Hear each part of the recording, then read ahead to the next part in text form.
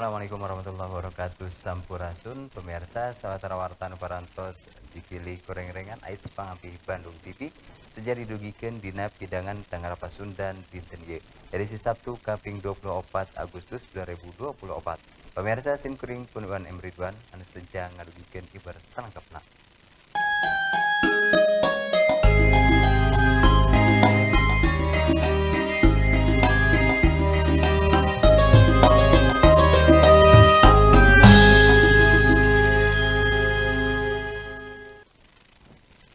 modus ngajak apel atau kencan ke calon korban pasangan laki rabi di Kabupaten Cianjur kompak jadi pelaku begal. Aksi dua pelaku anu diwogan ku baturna saurang teh bisa kaguar ku Satreskrim Polres Cianjur satu tas nyieun skenario ku cara dipikat. Para pelaku pemusungan bisa dicerak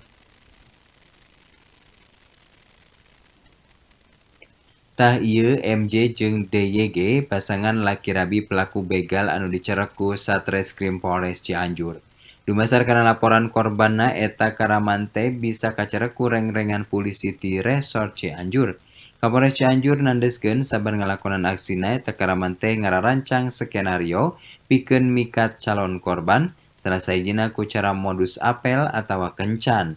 Tersangka Wanoja DYG mancen salaku pamikat calon korban kalawan ngajak apel, Ari Salakina jeung pelaku sejena boga pancen salaku eksekutor. DYG natawarkeun diri kanu tumpak motor pikeun apel.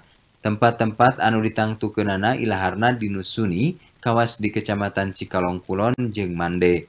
Setetas calon korban kaolo satuluyna pelaku mawa korban ka di tempat pikeun ngapel, delila MJ jeung RN bakal mucunghul. MJ jeung RN ngangancam korban make bedog. Korban anu kasienan dititah mabur anu satuluyna eta pelaku anu tiluan ngiwat motor jeung harta banda korban.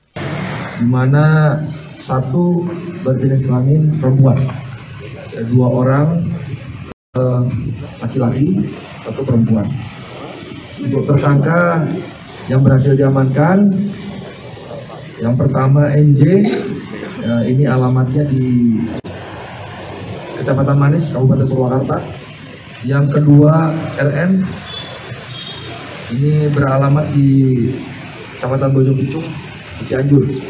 Kemudian DYG di Mande Kabupaten Cianjur Sajeroning kitu dumasar karena pengakuan para pelaku duit hasil kejahatan teh dipake kernonan kebutuhan sapopoe.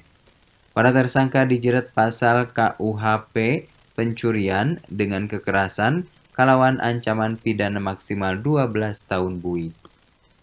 Heri Setiawan, Bandung TV.